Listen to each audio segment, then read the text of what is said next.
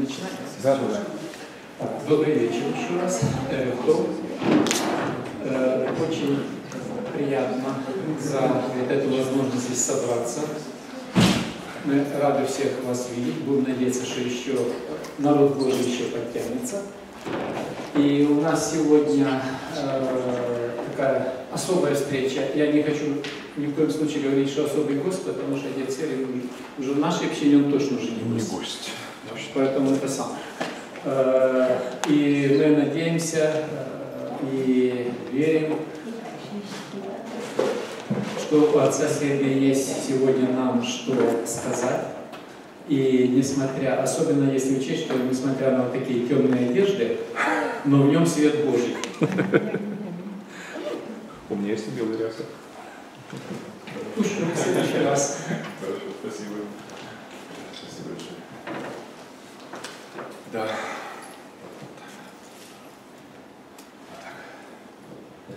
Слава Богу. Помолимся, да, друзья, вначале? Давайте помолимся. Как раз и люди подходят, вот, сомневаются, заходить, не заходить. Пусть заходят, да? Приглашайте, не стесняйтесь. Пусть не стесняйтесь, заходят, да. Так. Помолимся, друзья, давайте. Господь, слава Тебе. Благословен Ты Бог наш, Царь Вселенной, давший нам вместе собираться, дающий нам эти собрания, Боже.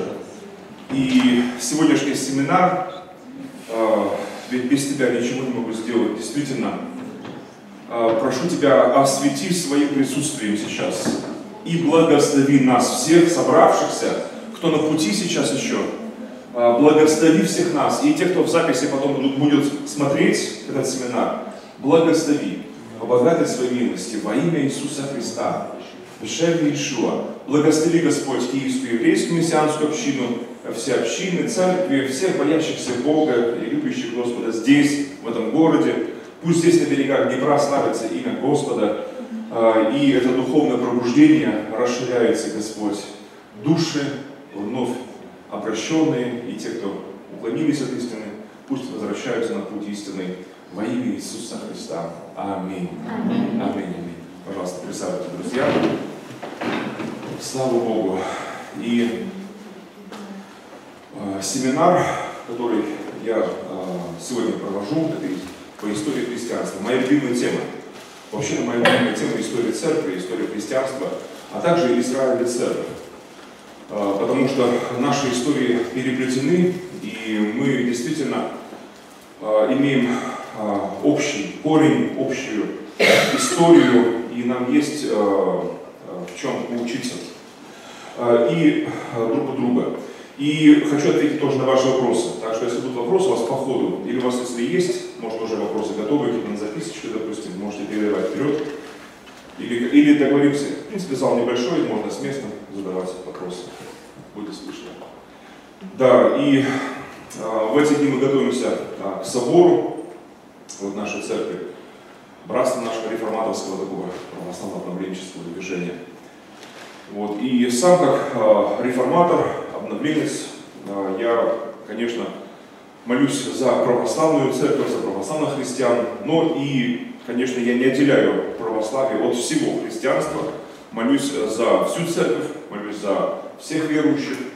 Э, и особое место в моем служении, э, в моей молитве всегда это мессианские служения, это мессианское движение, которое для меня это скажу, огромное благословение э, и, скажу, знамение даже, знамение этого времени, духовного пробуждения. Э, о церкви э, сегодняшний вечер, пусть он будет с пользой проведен, пусть каждый из нас для себя возьмет что-то очень важное. Рождение церкви, оно произошло в крови, в муках, да, на Голговском кресте. Машиах, он родил нас. Он родил, как нам раньше говорили, новую общественную формацию. Помните, как говорили советский народ? Мы новая общественная формация, которая не была никогда раньше в истории. Народ безбожник, народ атеист из разных народов Земли. И это был удивительнейший эксперимент, ну, конечно, страшный эксперимент, но он уже ушел в историю, но последствия этого эксперимента до сих пор еще они слышны и отзываются болью. А, и вот, особенно в истории Украины, это и голодоморы, это и войны и прочее. Но, дамы и господа, братья и сестры, Бог родил новую общественную формацию, свой народ. И вот рождение, роды сами были на кресте, на Голгофском кресте. С того момента чудо рождения совершилось. Слава Богу. А в день Пятидесятницы родившаяся а, церковь, она была явлена этому миру. Да, приветствую, да, проходите, пожалуйста, слава Богу. И об истории а, христианства, конечно, можно а, говорить много, но я хочу такие самые главные сказать моменты. Мне, как реформатору, конечно, приходится с этим сталкиваться постоянно. Дело в том, что христианская церковь в своей истории, мессианская община, да, христианская церковь, в своей истории очень непростой путь проделала. Иисус о Царстве Небесном учил ведь, да? Это ну, о церкви, то бишь, да, о своем народе. И какие мы притчи можем вспомнить? Вот вообще, как он учил о Царстве Своем? что вот вам особенно как бы помнится вообще? Вот когда вот я говорю, допустим, вот Иисус говорит о царстве своем, да? Жемчужина. Жемчужина, о, это, это, хоро, вот это хороший очень пример, да. А, там у него в притчах есть, а, есть отрицательный пример, есть положительный пример, есть как бы и так, и так. Вот про жемчужину это самый как бы идеальный пример вообще, очень хороший пример, положительный пример. Вот. А какие еще? Невеста. Про семя, которое... Про семя, да? Да, да. Все, то, что помнится, так, да? Ну да, да, что помнится. Мне помнится даже как в фильме, как храм Божий он зашел, ага. среди торговли, это все мне запомнилось как бы. А, и он этот момент. Опрокинул столы. Очень этот запомнился, да, именно из этого всего. Ну, это такой погром, да, такой был, да. Вот это, наверное, такой запоминающийся так. Понятно, спасибо. Ну, вот э, сестра сказала э, о семени, да, вот, да, засеянное на поле. Здесь уже э, э, такая притча 50 на 50. А, если про жемчужину это чисто положительная, хорошая притча как бы, о царстве, то здесь уже говорится и хорошее, и плохое. А, потому что там было посеяно изначально хорошее было на, на огороде Царства Божьего, на поле этом, да, а потом из-за того, что проспали э, охранники, да, э, пришел враг и посеял плевелы. И стал расти потому на поле и то, и другое, хорошее и плохое. Добавь. И тут же он говорит, вот это, кто перед меня тут семя Авраама, то есть он все-таки садил хорошее, и что с него произрастает. Если он называет себя христианином, но не семя Авраама, не живет, не говорит твой народ, мой народ, твой Бог, мой Бог, то тут вопрос задуматься. Да. Семя это серьезно. Вот как раз отец Сергей правильно говорит, значит, а, что а, вот именно а, дело в том, что растущие на поле Царства Божьего очень разные, будем так говорить, злаки и сорняки, и Э, мы констатируем сегодня факт, что на самом деле на огороде царства, на поле царства Божьего растет всякое. И те, кто имеют правильную самомодификацию, и те, кто э, ее вообще, вообще никакую не имеет. А, и насажденные врагом, и насажденные а, Богом, а, насажденные. Вот, из, из притч. Ведь Иисус, когда воскрес, да, Он еще 40 дней являлся ученикам, и опять-таки говорил им, в этой э, потрясающей библейской школе 40-дневной, являясь им, говорил им о царстве своем опять-таки. Какие еще притчи вспоминаете, притчи э, именно о царстве? Приблизилось к вам Царство Божье. Приблизилось, да. Ну это такое воззвание такое, да, приблизилось Царство, да, классно. Вот это вот. Горчичное зерно, да, горчичное зерно. Маленькое зернышко, которое было посажено, а потом выросло в огромное дерево. И птицы небесные а, гнездились в этом дереве. Да? Но это опять-таки притча, она так двоякая, и хорошая, и, и о хорошем, и о плохом. Потому что, согласно вот, э, системе еврейских толкований, э, как раз птицы, гнездящиеся э, в древе, это ну, ничего хорошего не предвещают. Как вот в книге Откровений, там расшифровка интересная, в пристанище всякой отвратительной птицы, которая есть образ этих бесов которые укрывались э, в, кроне, э, в кронах Царства Божьего. То есть получается, что когда э, семечко маленькое и растет, растет, растет, еще ничего, но когда уже большая становится, уже большим древом становится, вот там уже проблемы начинаются, да, гнездятся всякого рода эти вот отвратительные птицы. Вот, ну, как в Откровении там расшифровывается потом, когда о Вавилоне говорится. Э, значит, какие еще притчи? Закваска. А, а это уже чисто отрицательная притча уже. То есть, как бы, если про жемчужину вспомнили, это чисто положительная притча, вот, то про закваску это чисто отрицательная притча. А, хотя обычно а, в христианских а, церквях многие проповедники ее используют как пример положительный. Вот говорят, мы заквасим весь этот мир, там, заквасим, переквасим, значит, и прочее. Вот, но на самом-то деле в системе еврейской системе толкований это ничего хорошего а, не означает абсолютно. Женщина а, уже означает уже нечто плохое в этой притче. Вот взяла закваску, бросила в три меры муки. Закваска всегда и в Ветхом, и в Новом Заветах означает порог, лукавство. И сам Машиах говорил, что значит, закваска фарисейская, садукейская и иродова. Три вида закваски, которые э, угрожают Царству Божьему, верующему человеку, три вида закваски. Одна из них чисто религиозная, другая религиозно-политическая, третья чисто политическая. Вот эти три вида закваски, которые угрожают Царству Божьему. И вот э, женщина, бросившая в закваску, закваску в три, мер- в три меры муки, пока не вскисло все, говорится. Вот это все очень страшно звучит, конечно. Я считаю, что вот эта э, притча о закваске, э, брошена в три меры муки, это как раз апофеоз отступничества, апофеоз как раз именно вот, э, деградации э, Церкви Божьей.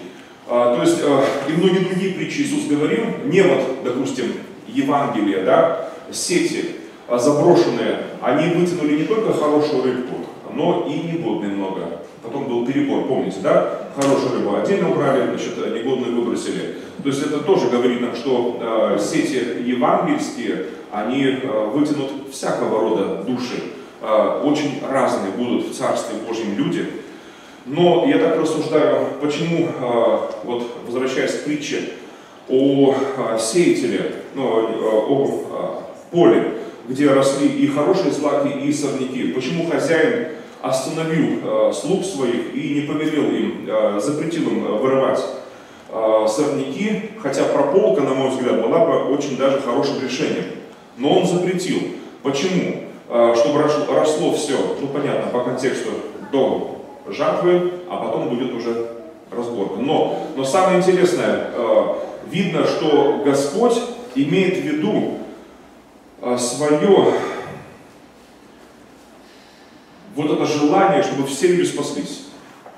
Знаете, э, и достигли познания истины. У него есть страстное желание, чтобы все люди спаслись.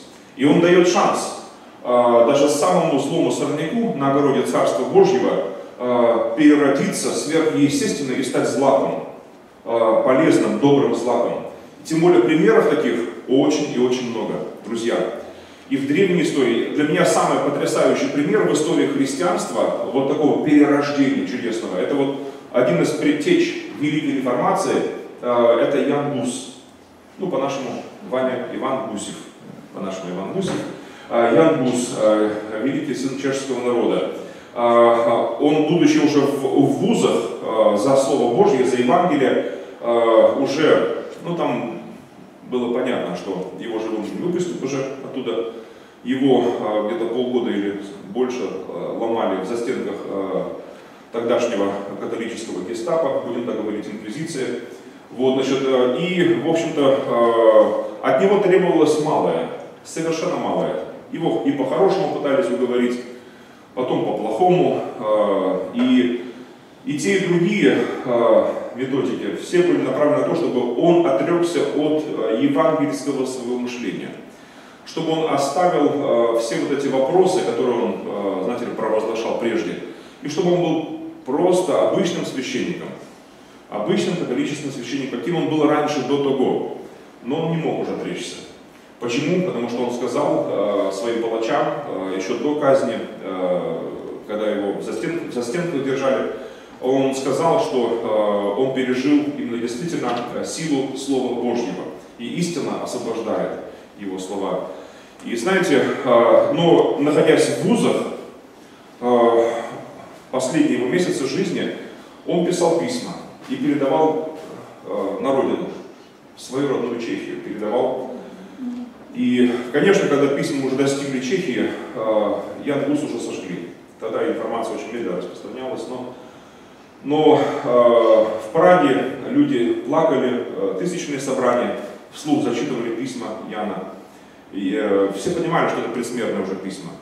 Вот, и он, но он писал интересные вещи. Э, Я в Праге был, был в этой э, каплице, где он проповедовал, да, э, и для меня было особенным таким ну, духовным переживанием вот именно там проповедовать, э, быть на том месте. Мы там провели молитвенное собрание э, в стенах вот этого, э, ну, восстановленного большого помещения, где он проповедовал Ян Гус.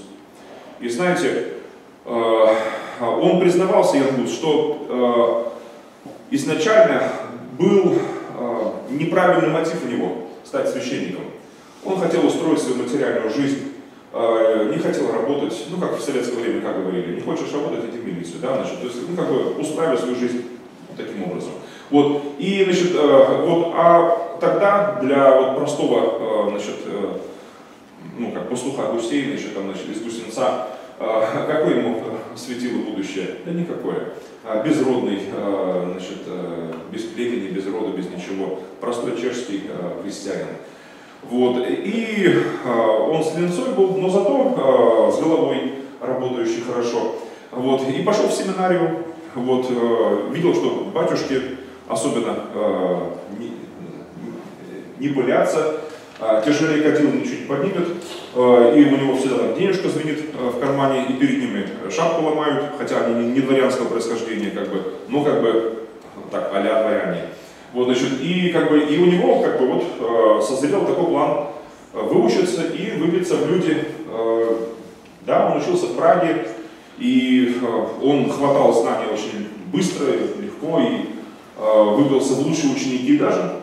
Вот, и его не только, как он раньше представлял себе, в провинции быть батюшкой, в Густинце у себя, нет, его оставили в Праге, в столице, Э, карьера, знаете ли, награды, там, молодой священник, который, ну, как бы выбрался так вот, э, так нежданно так в люди. Но самое интересное началось у него в этот момент, когда не только его мечты исполнились, но даже больше, чем о чем он мечтал, исполнилось.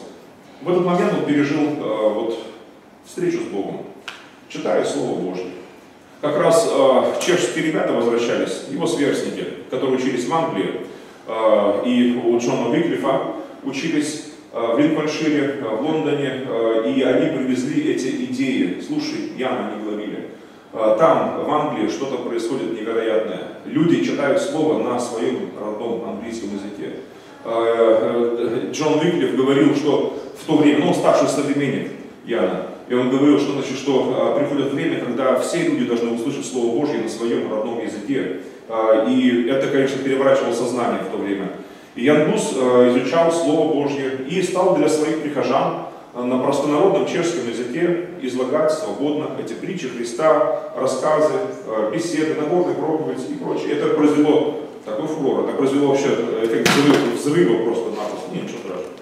Вот, и, и знаете, э, люди отовсюду приходили, Э, собрания, многотысячные собрания проходили. Так вот, ладно, ничего страшного. Да, Давайте, давайте. Да, да. Вот, и знаете, э, получается, что он, он был сорняком, стал злаком, э, великим злаком. И когда его, да, его сожгли на костре, к сожалению, так получилось, да.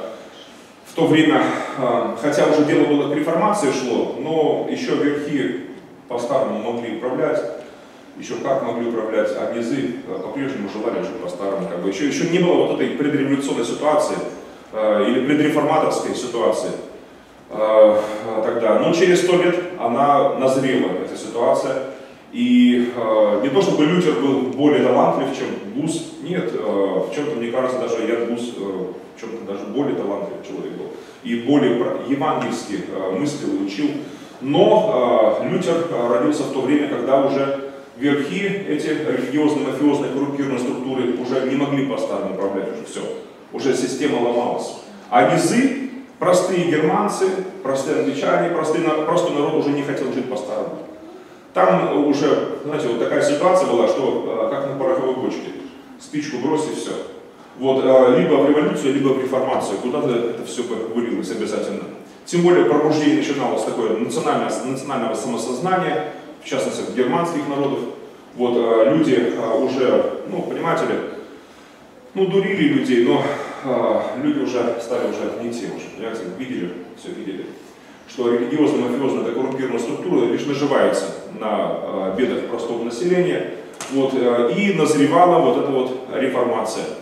Так что Мартин Лютер, кстати, Мартин Лютер, он воскликнул однажды перед своими учениками, он перечитывал Яна Гуса, столетней давности тогда, манускрипты, и он воскликнул такие слова, сказал, что да мы все гуситы, мы не лютеране, мы гуситы.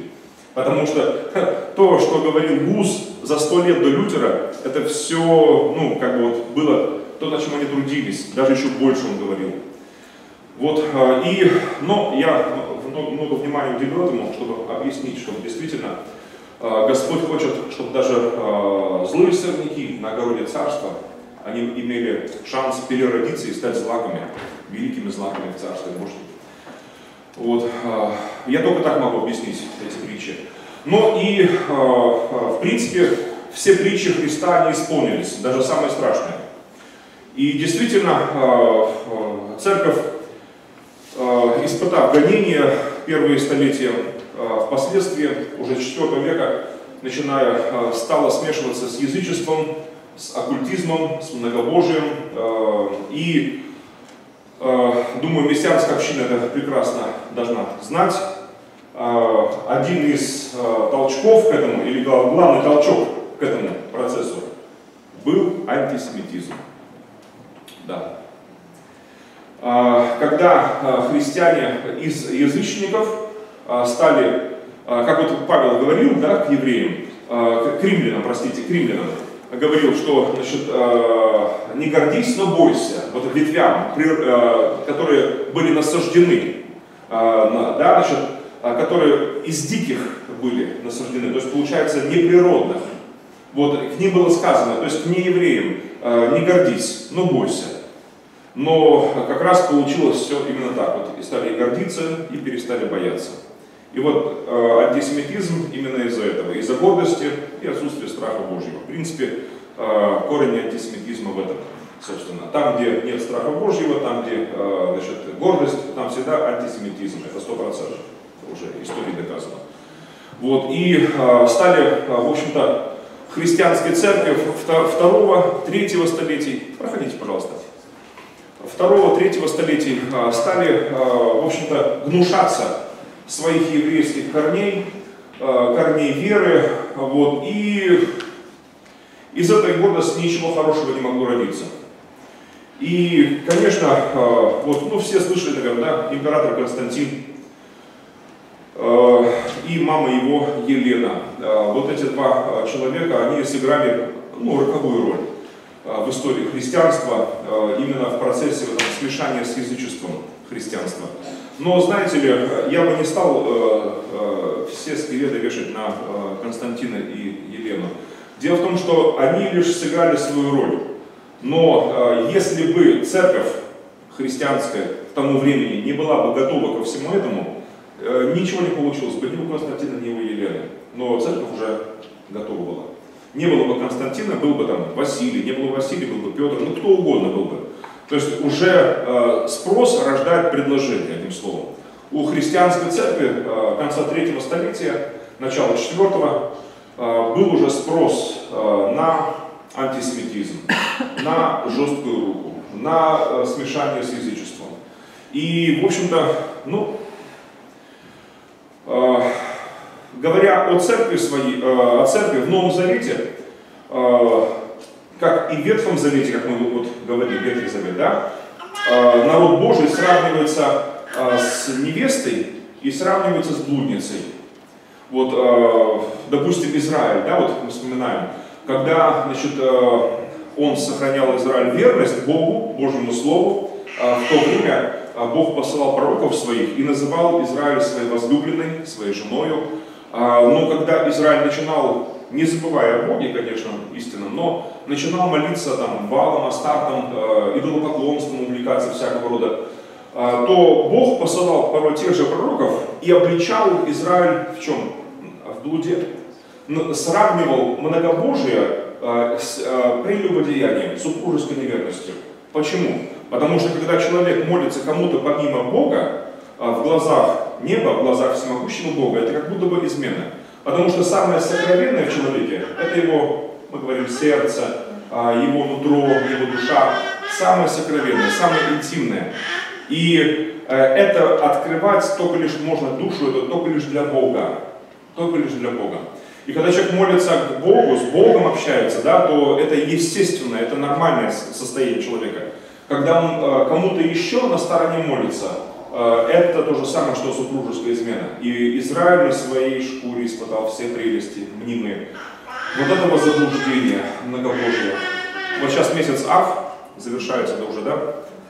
Вторая половина месяца Ав уже. И э, как раз и Рэба проводил семинар тоже. Вот по поводу 9 ава, да, значит, с 17 Тамуза до 9 ава, обычно это время э, называлось э, в традиции еврейской межтеснины или, или, или сдавленной границы, или, э, или э, в теснинах, в теснинах по-разному можно переводить эти слова, Э, ну, как э, э, э, то есть можно как перевести как теснина, а можно как перевести как граница. Опасность приграничной зоны, как бы. И опасность перейти эту границу, черту это, еще больше опасность. И вот когда Израиль переходил эту границу, то, э, то наступала очень серьезная беда. И первый храм был разрушен по грехам нашим. Библия об этом очень подробно рассказывает. Э, именно многобожие идолопоклонство, оно, э, в общем-то, сделало то, что э, Божий храм был разрушен. Затем было изгнание, вот. потом было покаяние, чува, постепенное возвращение. Да? Чува, покаяние, буквально первое значение слова, еврейского слова покаяние, чува, да, это возвращение. Возвращение. Э, И сам Машиах это очень красиво описал в разных притчах, особенно о блудном, э, о блудном сыне. Вот, э, мы говорим о блудном сыне, но там как бы о двух блудных, по сути, сыновьях притча. Да. Вот, и э, получается, что вот тот бедолага младший, который оказался возле свиного корыта, вот он пришел в себя, очнулся, как бы пришел в себя, вот это уже чува.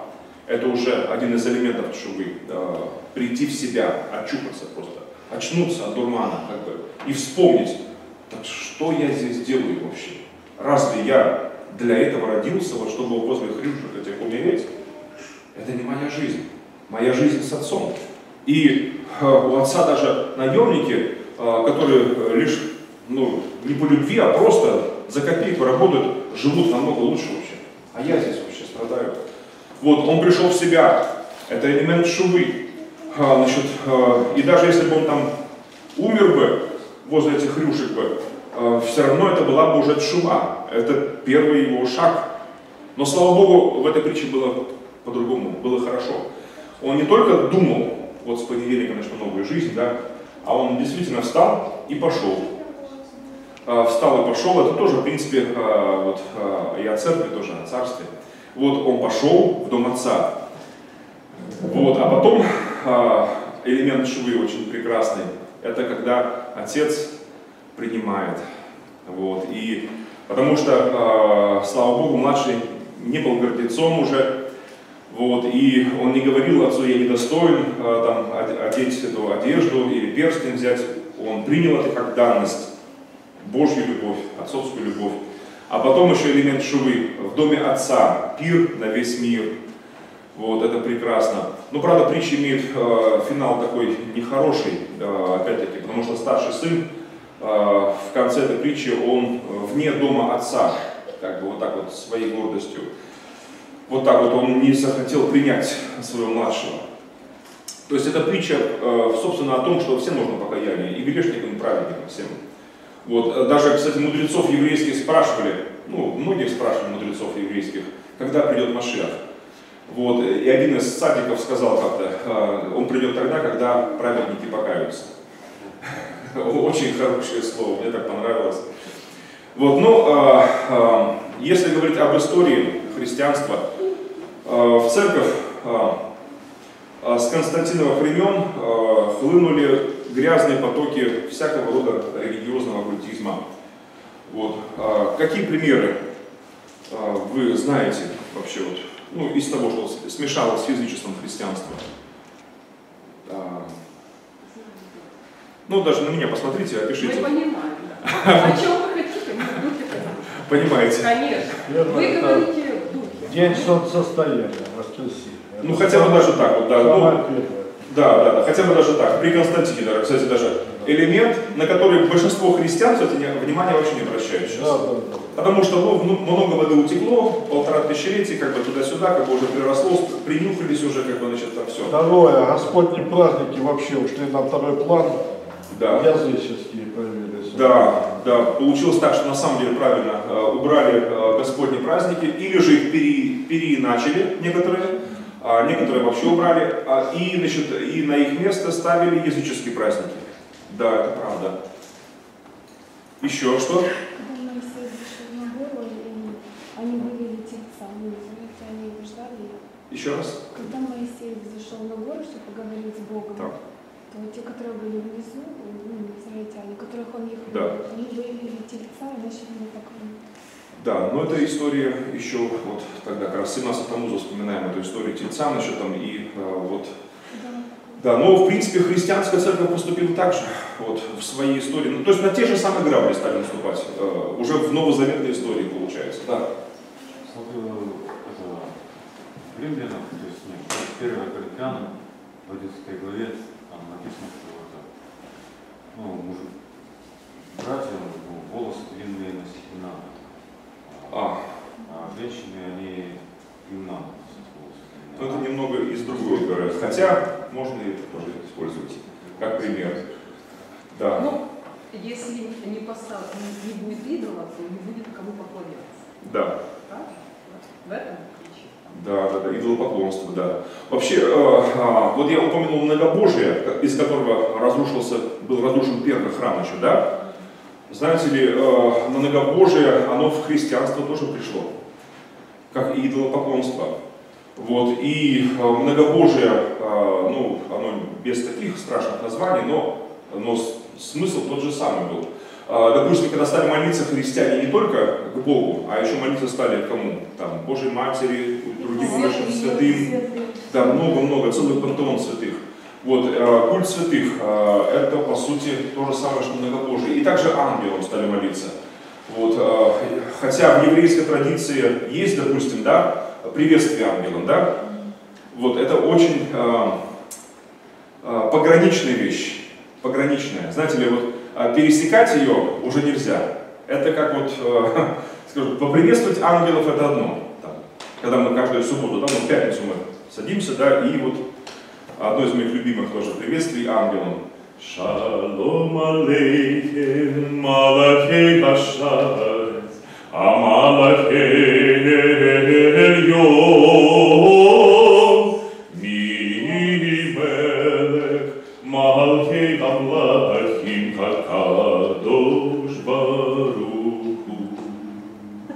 приветствуем ангелов, и сейчас здесь ангелы Господни, посланники Всевышнего присутствуют. Мы говорим, приходите с миром. Ну и потом и пребывайте с миром, и потом, ну и ходите тоже с миром. Ангелы Господни, посланники Всевышнего. Это пограничная вещь. А, То есть, а, глубже еще есть. как? А, Глубже один вопрос.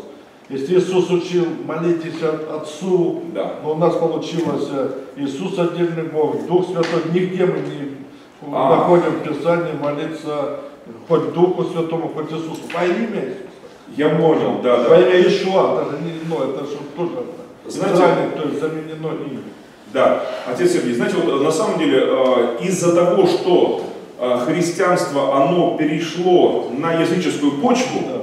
из-за этого э, до сих пор, кстати, я встречаю среди христиан такие вот э, мысли, допустим, общаюсь с разными верующими, и мне порой даже старые верующие говорят, я вот не знаю, вот, а, кстати, Генри рассказывал, Генри Мадава рассказывал, у него в церкви перемога. Вот.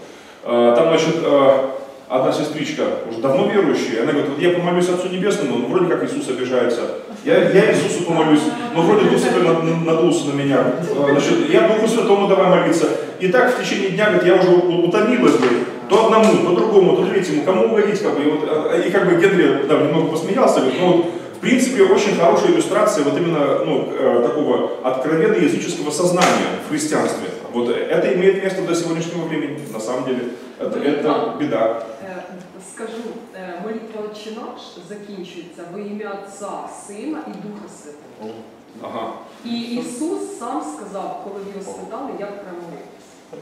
Ну, э, э, это в церковной традиции, да, в церковной православной и католической традиции ну, заканчивается во имя Отца и Сына и Святого Духа. Но это уже наша церковная, ну, как сказать, э, традиция, добавка. А в оригинале такого нету, Ні, конечно. імеється в виду, що Да. там дивіться, е, саме ні, чому в оригіналі? Е, В Новому Завіті ж написано, що закінчується молитва. Не-не-не, в Новом Завете нам говорится, ибо Твое есть царство и сила и слава во веки. Аминь. А, да, Да, ні, да. Там нет, там не говорится об. Пок- а Поклонение мощам это вообще откровенная оккультная уже традиция. Знаете ли, есть, э, как вот э, я вот рассуждаю, как вот грибы, да, есть съедобные, есть ядовитые, а есть условно съедобные. Очень много в христианстве такого условно съедобного, которое можно как бы, ну, если умеючи готовить, то не помрешь.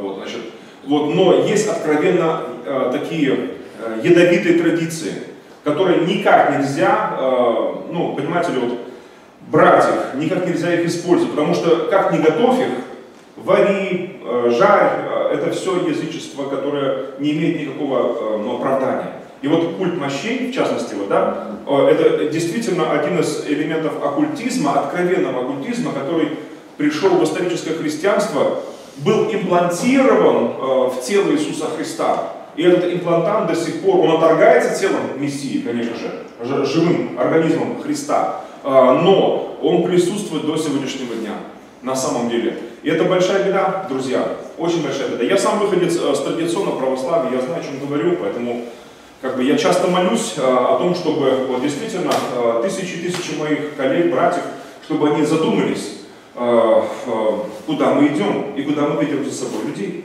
Потому что традиция, вот, э, ну много традиций разных, конечно, но есть, я говорю, повторяю, откровенно такие ядовитые традиции, оккультные, которые ну, нельзя, абсолютно нельзя применять. В частности, вот, да, вот именно э, культ мощей. А, Кстати, вот не- недавно а, был а, вот этот праздник, 24 июля а, по календарю православному, а, чудо Ефимии Всехвальное называется. А, Праздник, когда а, вспоминалось а, событие а, Четвертого Вселенского собора в Халкидоне, а, 451 год, а, когда отцы собора, 630 человек, а, в основном епископы, богословы, известнейшие люди того времени, то есть элит, церковная элита того времени, А, представители Папы Римского, а, патриархи восточные, а, представители императорской власти, а, значит, э, и плюс еще ну, монахов, множество монахов приехало. Так вот, и э, участники собора что сделали? Они э, взяли, э, открыли гробницу с телом умершей, погибшей девушки, э, значит, э, Ефимии, которая была репрессирована когда-то еще при Диоклетиане, по-моему, то есть больше ста лет до того. Ну, полтора столетия, так грубо говоря. До того она была уже мертва. Но в Халкидонской пустыне, в этой, она была, по сути, ну как, ну, засохшее тело, будем так говорить, засохшее тело.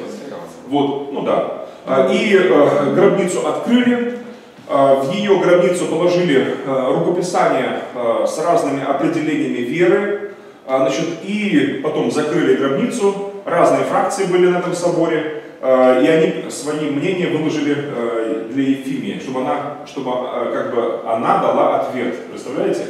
Это христианское собрание христианских епископов.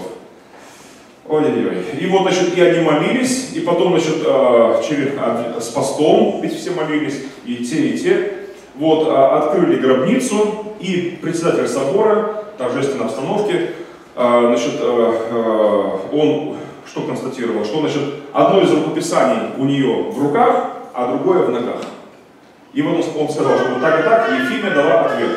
Ну, оппозиция запротестовала, сказала, что это фокусы. Тогда председатель сказал, хорошо, мы сейчас, прямо сейчас, открытым текстом, не будем закрывать, открывать гробницу, мы вопросим прямо сейчас э, Ефимию. То есть э, впервые в истории христианской церкви спиритический сеанс был э, прямо в церковном э, собрании, в котором э, официальных делегатов было 630 человек, плюс еще э, гости, то есть это ну, порядка тысячи человек, можно смело говорить, э, собрание было. Значит, э, тогдашней элиты э, церковной и государственной. И представляете, что произошло? Ну, согласно официальному мнению католической и православной церкви, Ефимия также оставалась спокойной, но рука ее, она как бы, как бы, и она протянула руку и передала председателю вот это определение веры. И те сказали, аксиос, все, вот это вот достойное определение. Да. А ведь вот 18 глава во Второзаконие, там же очень хорошо написано не взывать мертвым духом. Да. А это то же самое, когда вот в православии молятся там, вот как вы говорите, Фимии, там, Варваре, там еще люди. Да. Они же практически, это экстрасенсорика называется. Да, по сути, это экзотика и это спиритизм. Спиритизм э, это является И вот то, грехом. что произошло там, это конкретно вот было... Да, это, это конкретный спиритизм, это грех. перед Богом. Общение с бесами, да, мерзость перед Богом. Но знаете, друзья, дело в том, что подобная практика уже имела место в христианстве, но это было в- э, у отдельных монахов, как бы. И э, было это где-то там, ну, далеко, будем так, в провинции. Но э, в 451 году э, это было прилюдно в Большом собрании и на официальном соборе. И вот поэтому с Халкидонского собора с 451 года официально де юре э, культ мощей э, стал э, ну, главенствующим в христианской церкви, православно-католической тогдашней единой церкви. Ну, конечно, был период такой небольшой реформации в Византии. Это у нас так какой? Восьмой век, и начало 9 века. Да, с начала 8 столетия, 717 год, кстати, вот легко запомнить, 717 точно год. А, Значит, э, началась такая реформация византийская, когда э, значит, э, действительно истрезвились многие христианские епископы, служители, э, тогдашние реформаторы, вот эти были Константин Накалийский, архиепископ, потом Фома, э, митрополит Клавдиапольский и другие лидеры э, тогдашней византийской реформации. Они добились, э, на самом деле, пересмотра этих э, доктрин, и э, сотни и сотни мощей, значит, гробниц этих были преданы на кладбищах христианскому погребанию. А, то есть Византии, большая часть Византии отказались от многобожия этого, от идолопоклонства, от оккультизма. Но эта реформация была недолгая. К сожалению, она была потом подавлена очень жестоко. Значит, контрреформация, будем так говорить. Да, это другая уже история. Но э, Иисус говорил, очень интересно, у Матфея записано 22-29. Он сказал, помните ученикам Садока, э, сказал так, что заблуждаетесь, не зная Писаний, ни силы Божьей. Есть другой перевод. Э, Заблуждаетесь, пренебрегая Писаниями и силой Божьей. Вот это мне больше нравится, такой перевод, потому что э, по, по контексту так оно и есть, потому что учеников Садока было трудно назвать э, не знающими Писания. А вот пренебрегающими, да, это можно было бы допустить подобное. Э, И, э, знаете, э, в христианстве то же самое. Что у садукеев, что у фарисеев, что у других книжников. Там многие было, во времена Машиаха э, много было проблем у этих школ. Но христианская церковь в своей истории пошла еще дальше в этих заблуждениях, в этих ересях, к сожалению.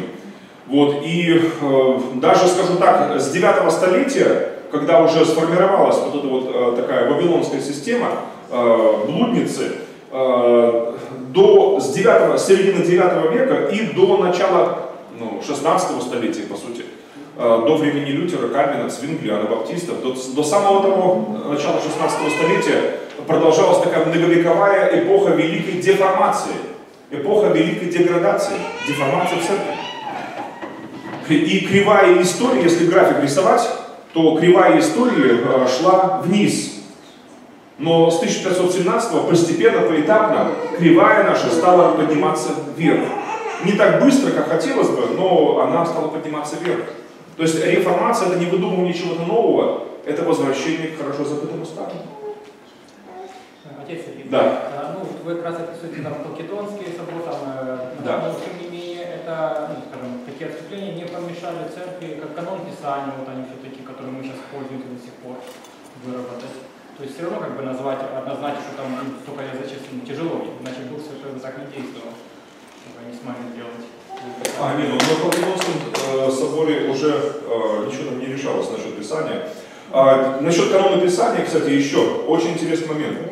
А, значит, э, э, в IV веке были соборы, которые не канон составляли, они констатировали тот факт, что определенные писания являются каноничными, то бишь принятыми всей полнотой церкви. И на Востоке, и на Западе. И они имеют, несколько было критериев, что, во-первых, они имели хождение по всем церквям, значит, и имели подтверждение этому. Второе, что они имели историческое, вот, как бы, э, передание как бы, э, от э, первого столетия, от апостолов непосредственно, в отличие от апокрифических писаний, которые возникали гораздо позже, спустя, ну, второе, третье столетие. И э, важный момент, что они не, не пользовались э, таким всеобщим авторитетом, а, а лишь местечковые какие-то э, были. Поэтому э, каноны э, писания э, собора не составляли. Они лишь констатировали факт э, вот именно вселенскости, э, каноническости, именно вот действительно вот, э, определенного сборника текстов Нового Завета. Вот, но не было такого, что вот это мы берем, это мы отсеяли, это еще что-то сделали. Вот. И значит, соборы, которые делали списки вот именно вот этих текстов Писания, да, это соборы 4 столетия. Э, к ним вопросов таких нету. А соборы 4 века, значит, они не опускались до такой мерзости, нет, как последующие соборы.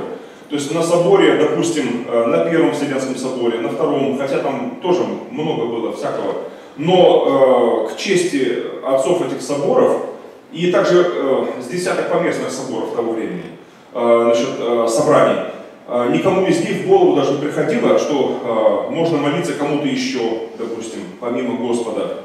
Вот, э, что, допустим, тем более ситуация с мощами подобная просто-напросто была бы ну, просто невозможна. Даже православный историк вот, Киевской духовной семинарии Академии, покойный, да, вот, значит, Михаил Постов-то, значит, некогда он был здесь светилой такой, значит, исторической науки церковной, в своей книге «История христианской церкви» он признает, что в IV столетии, особенно начало IV столетия он изучал очень подробно и защищался на, на, на этой теме докторскую свою. Так вот, он подтверждает, что начало IV столетия, сама идея даже совместить церковное собрание, допустим, с усыпальницей, с мощами, с останками умершего, была отвергнута с презрением. Он, он просто констатирует факт, что это было бы невозможно даже себе представить подобную практику.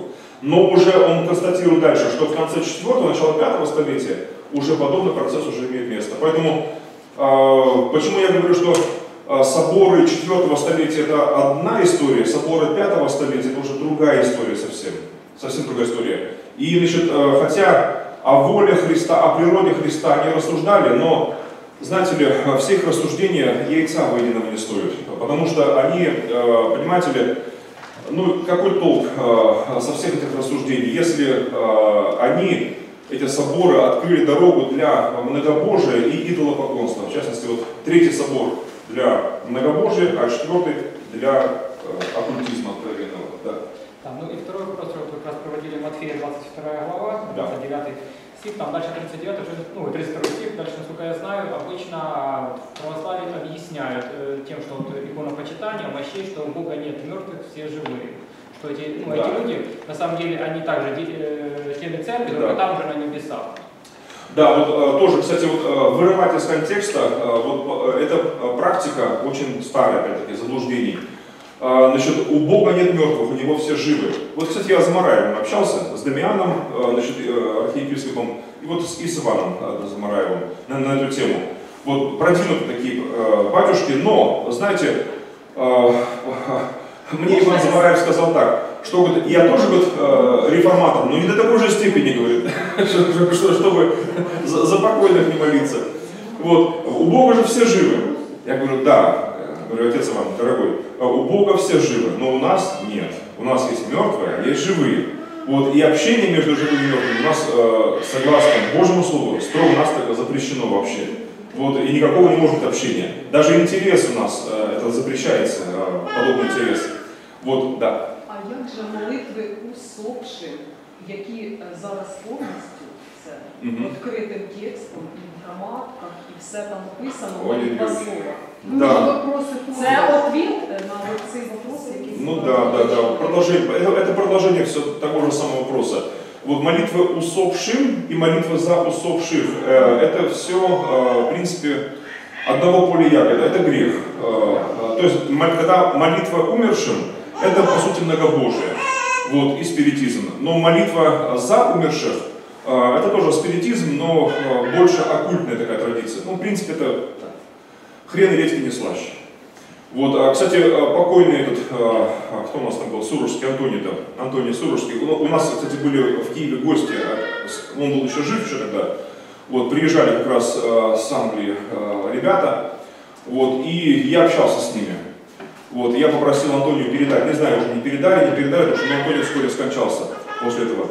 Но, по крайней мере, они, опять-таки, настаивали на том, что Антоний учит их что молиться умершим нужно, и даже ну, можно, и можно, и нужно. И, э, знаете, даже вот Александр Мень, при всем уважении э, к его светлой памяти, я очень э, дорожу э, вот именно действительно э, этим именем, Э, но, однако же, даже Александр Мень, он тоже пребывал, ну, во-первых, как будучи традиционным священником все-таки православным, э, оставаясь до конца, э, он в этом всем был. Э, молился за упокой, молился умершим. Но он пошел еще дальше даже. Э, Он признавался в своих беседах, и не раз, и не два, я это читал э, и слышал даже, что значит, он молился, допустим, своей покойной матери. Он вырос в такой еврейской семье, где, ну, видишь, мама была. Мама была всем просто для него. И мама, на самом деле, сделала очень много в его жизни. Очень много. Он, в общем-то, в люди вышел благодаря маме. Вот. И воспитание все было, знаете, образование все было домашнее. Все его образование было домашним. Представляете? Вот. И он без мамы э, себя не, не мыслил совершенно. И когда она умерла скоропостижно, э, он был просто потерян. Он просто потерялся. И он рассказывал, что это была как депрессия. Он закрывался и не мог ни с кем разговаривать вообще. И плакал. И потом э, он сказал так, признавался, что он однажды, закрывшись так вот, он стал разговаривать со своей мамой, обращаться к ней за помощью. Он просил ее совета, ее помощи. И говорит, когда я к ней обращался, вдруг я ощутил, говорит, ее присутствие. А потом он сказал так, что вскоре после этого, э, этой молитвы, как к матери, э, пришли ответы неожиданно, как бы, на его эти просьбы. И он эту причинно-следственную связь установил и э, стал практиковать подобное. К сожалению, это было в его жизни. И э, я разговаривал с отцом Александром Борисовым и с Георгием Чистяковым, уже, Чис- Чистяковым, уже покойным отцом Георгием Чистяковым. Вот, э, отец Георгий Чистяков то же самое признавал, что да, отец Александр даже э, э, учил, я этого не слышал нигде, но э, из уст отца Георгия Чистякова я это знаю, что он учил даже себя в церкви, в храме, что вы можете молиться не только канонизированным святым, но даже и своим благочестивым родственникам, э, маме, папе, допустим, умершим, дедушке, бабушке, если знаете, что они были благочестивы, а чтобы они были хранителями вашего рода, вашего семьи, вашей семьи, вашего очага. То есть это, э, это классическое язычество, знаете ли. И я, знаете, скажу, все-таки немного оправдаю Меня. Последние годы его жизни он, насколько я знаю, эту практику оставлял. По крайней мере, последний год его жизни, 90-й год, это был 1990 уже год, я как раз собирался как раз ехать к нему, и вот и было как раз в конце, кон- в конце лета, вот август месяц 90-го года, и э, я не успел. Э, его уже в начале сентября уже убили уже. А я как раз э, был на служении и в Москве, и в Подмосковье тоже, ну, рядом был, но в Солнечногорске служил как раз тогда тоже на приходе. А Я был чтецом и тогда и подьяконом. Вот, э, но, э, к сожалению, не смог приехать уже, и его убили. Но последний год его жизни, вот этот 90-й, знаете, насколько я знаю, он именно евангельски э, все больше и больше одним словом ко Христу обращался. А там один Бог знает, конечно, что было в его жизни. По крайней мере, его последняя проповедь за день до смерти, значит, так получилось. В Москве он где он там, я забыл уже, ну не, не так важно. Э, в Москве в одном из э, ДК он проводил такую встречу, вот, была запись, ну, на такие большие, большие катушечные магнитофоны делалась, вот, значит, э, и его последняя проповедь была э, вот именно как раз о Христе, об уникальности личности Иисуса Христа, о неповторимости личности Иисуса и что Он есть действительно исключительный путь истинной жизни, неповторимый. Вот, это было 8 сентября, 9 его уже убили уже, вот, э, утром он шел на службу. Вот, знаете, э, я священникам многим говорю так, знаете, э, пока есть время, пока мы в этом теле, есть шанс пересмотреть очень многое. Чем потом всю вечность локти кусать, есть время сейчас сделать что-то для Господа. Действительно, правильное, истинное. Я Богу благодарю, конечно, и за молодых священников, и за пожилых священников. Вот в Грузии я удивился, разговаривал с, со старейшим епископом грузинским, митрополит Христофор Целомаидзе. Вот почти сто лет человеку, но я удивился, насколько пытливый такой юношеский ум, вот насколько человек, вот, ну я скажу, я с такими людьми вот высокопоставленными, церковными, вот я могу сравнить только его с Любомиром Лузером, который до конца сохранил такую ясность ума, удивительную просто ясность ума. Я с ним когда общался с Любомиром, вот я был просто, ну как, в захвате. Вот действительно, человек, который сохранил вот эту ясность ума и такое молитвенное состояние, молитвенное состояние с Богом. Это потрясающе.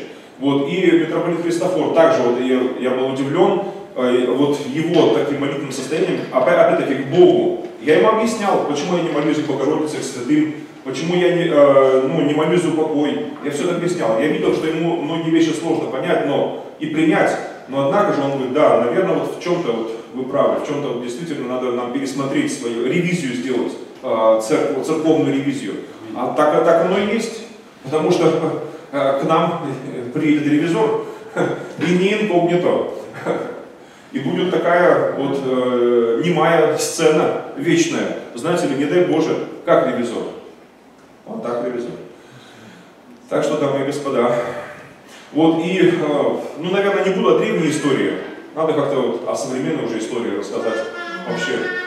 Э, по милости Господней из Божьего Слова мы с вами же э, не только э, можем о том, что было, рассуждать, но и о том, что есть, и о том, что будет даже. Это, это все часть одной истории, друзья. Это все. И сегодня, кстати, я тоже еще скажу, что нам, христианам, нужно переписать историю. Многие боятся переписывать историю. Нам нужно переписать историю, потому что историю всегда переписывают. Но переписывают ее в этом миру как? В угоду сильной века всего, да? В угоду мамоне, в угоду политике, религии. Вот, а нам, если мы возрожденные, свыше люди, нужно переписать историю в угоду нашему Спасителю Иисусу Христу. Пересматривая все через Слово Божье, пересматривая все, э, производя такую ревизию. Э, я, по милости Господней, имею некоторый опыт в этом. В 96 году э, я вышел из традиционного православия, я до 96 года служил э, священником э, Русской Православной Церкви Московского Патриархата, такой ортодоксальной довольно э, значит, православной церкви. Вот, и я этой ортодоксией проникся тогда, молодым священником я проникся очень серьезно.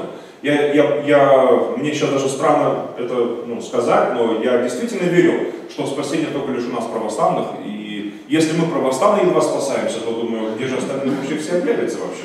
Вот знаете ли, и э, я даже не мог себе, даже православных, неканоничных, там, э, других православных, э, вне нашей э, там, э, каноничной церкви, э, знаете ли, я к ним э, смотрел на них, ну, как сектанты просто, и все, раскольники, отщепенцы, как бы, значит, и э, никакой благодати не может быть у них абсолютно. Э, только лишь э, у нас, только лишь вот в этой апостольской правоприемственности и э, только лишь и там, и сям, и сям.